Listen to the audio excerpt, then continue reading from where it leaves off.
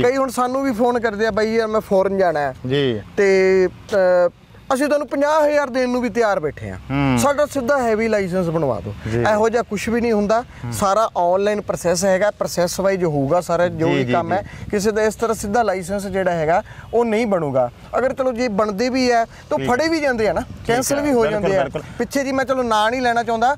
500 licence ਕਿਸੇ district ਦੇ ਵਿੱਚ ਕੈਂਸਲ ਹੋਇਆ। ਜਿਹੜਾ ਹੈਗਾ ਸਿੱਧਾ ਬਣਿਆ ਸੀਗਾ। ਜੀ। ਉਸ ਚੀਜ਼ ਦਾ ਕੋਈ ਫਾਇਦਾ ਨਹੀਂ ਹੁੰਦਾ। ਉਸ ਸਗੋਂ ਤੁਹਾਨੂੰ ਉਹ ਉਹੋ ਜਿਹੇ ਲਾਇਸੈਂਸ ਇੱਕ ਮੁਸੀ ਹੋਰ ਕਿਸੇ ਮੁਸੀਬਤ ਦੇ ਵਿੱਚ ਪਾ ਦੇਖੋ ਤੁਸੀਂ ਗਲਤੀ ਨਾਲ ਲਾਇਸੈਂਸ ਬਣਾ ਲਿਆ ਜੀ। ਅਗਰ ਰੱਬ ਨਾ ਕਰੇ ਮੇਰੇ ਤੋਂ ਚਲਦੇ ਐਕਸੀਡੈਂਟ ਹੋ ਗਿਆ। ਉਹ ਅਗਲੇ ਬੰਦੇ ਨੇ ਮੇਰੇ ਤੇ ਇਨਕੁਆਇਰੀ ਪਾਤੀ ਕਿ ਇਹ ਦੱਸੋ ਜੀ ਇਸ ਬੰਦੇ ਦਾ ਡਰਾਈਵਿੰਗ ਲਾਇਸੈਂਸ ਕਿਵੇਂ ਬਣਿਆ ਜੀ ਤੋ ਹੈਵੀ ਡਰਾਈਵਿੰਗ ਲਾਇਸੈਂਸ ਬਣਨ ਦਾ ਪ੍ਰੋਸੈਸ ਹੈ ਕਿ ਸਾਡੇ 2 ਦਿਨਾਂ ਦੀ ਮਾਹੂਆਣੀ ਦੀ ਟ੍ਰੇਨਿੰਗ ਹੈ ਜੀ ਅੱਜ ਕੱਲ 30 ਅ, 30 ਡੇਜ਼ ਦਾ ਡਰਾਈਵਿੰਗ ਸਕੂਲ ਦਾ ਜਿਹੜਾ ਹੈਗਾ ਉਹ ਸਰਟੀਫਿਕੇਟ ਹੈ।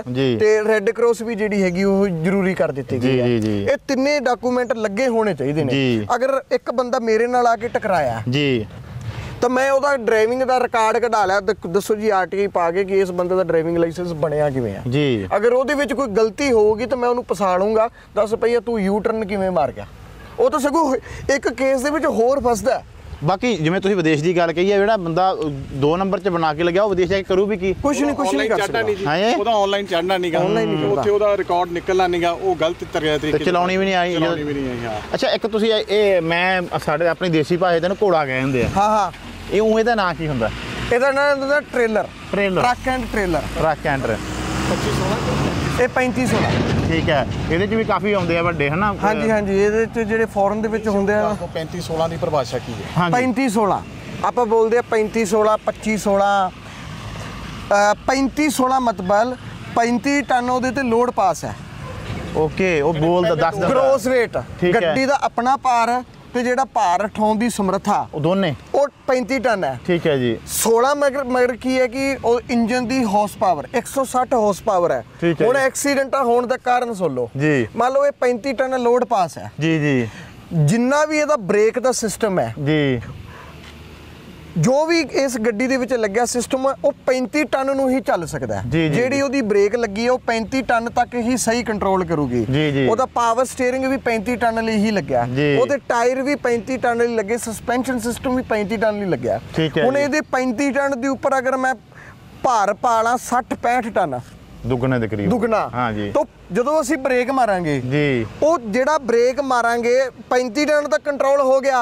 ਪਰ ਜਿਹੜਾ ਉੱਪਰ ਟਨ ਹੈ ਉਹ ਤਰੀਕ ਕੇ ਅੱਗੇ ਲੈ ਜਾਊਗਾ। ਛੋਟੀ ਪਰਿਭਾਸ਼ਾ 'ਚ ਦੱਸਾਂ ਸਾਡੇ ਜ਼ਿਮੀਂਦਾਰਾਂ ਦੇ ਘਰਾਂ ਦੇ ਵਿੱਚ ਟਰੈਕਟਰ ਟਰਾਲੀਆਂ ਹੁੰਦੀਆਂ। ਜੀ ਜੀ ਜੀ। ਜਦੋਂ ਅਸੀਂ ਟਰੈਕਟਰ ਟਰਾਲੀ ਦੇ ਉੱਪਰ ਫਸਲ ਲੈ ਕੇ ਜਾਂਦੇ ਆ ਜੀ। ਬ੍ਰੇਕ ਮਾਰਦੇ ਆ ਟਰੈਕਟਰ ਬ੍ਰੇਕ ਨਹੀਂ ਮੰਨਦਾ ਉਹ ਅੱਗੇ ਜਾ ਕੇ ਤੱਕ ਤੱਕ ਮਾਰਦਾ ਤਾਂ ਅੱਗੇ ਜਾ ਕੇ ਰੁਕਦਾ ਹੈ। ਇਸ ਕਰਕੇ ਹੀ ਜ਼ਿਆਦਾਤਰ ਐਕਸੀਡੈਂਟ ਹੁੰਦੇ ਨੇ ਓਵਰਲੋਡਿੰਗ ਕਰਕੇ ਓਵਰਲੋਡਿੰਗ ਜਦੋਂ ਬ੍ਰੇਕ ਮਾਰਦੇ ਆ ਗੱਡੀ ਜਿਸ ਡਿਸਟੈਂਸ ਦੇ ਵਿੱਚ ਰੁਕਣੀ ਹੁੰਦੀ ਹੈ। ਉਸ ਡਿਸਟੈਂਸ ਦੇ ਵਿੱਚ ਰੁਕ ਨਹੀਂ ਪਾਉਂਦੀ। ਤਾਂ ਉਹ ਐਕਸੀਡੈਂਟਾਂ ਦਾ ਜਿਹੜਾ ਹੈਗਾ ਉਹ ਕਾਰਨ ਬਣਦੀ ਹੈ ਮਤਲਬ ਮਕਸਦ ਇਹੀ ਹੈ ਵੀ ਜਿਹੜਾ ਜਿੰਨਾ ਜੋ ਵੀ ਸਰਕਾਰ ਵੱਲੋਂ ਪਾਸ ਆਮ ਆਪਣੇ ਵੀ ਇਹ ਸਿਸਟਮ ਹੈ ਕਿ। ਲਾਲਚ ਦੇ ਵਿੱਚ ਆ ਜਾਂਦਾ ਸਿਸਟਮ ਹੋ ਜਾਂਦਾ ਹੈਗਾ। ਕਿ ਵੱਧ ਮਾਲ ਪਾ ਲਈਏ ਕਿ ਗੇੜਾ ਤਾਂ ਲੱਗਣਾ ਹੀ ਲੱਗਣਾ ਹੈ ਤੇ ਉਹ- ਉਹਦਾ ਫਾਇਦਾ ਕੀ ਹੈਗਾ ਜੀ। ਉਹਨਾਂ ਦਾ ਤਾਂ ਚਲਾਨ ਹੋ ਜਾਂਦੇ ਆ ਫਿਰ। ਜੀ। ਓਵਰਲੋਡਿੰਗ ਦਾ ਜਿਹੜਾ ਚਲਾਨ ਹੈ। ਉਹ 20000 ਫਿਕਸ ਹੈ ਜੀ। 2000 ਪਰ ਪਰ ਟਨ ਹੈ।